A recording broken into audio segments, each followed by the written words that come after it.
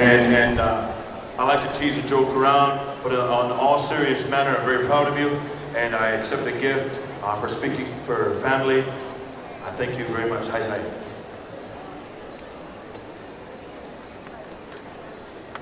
Jada made it.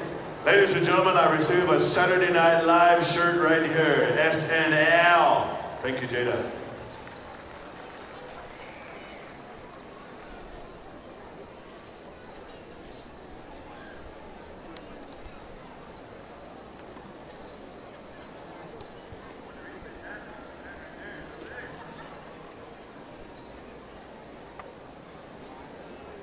Also, these ladies here, they came all the way from Kihuen.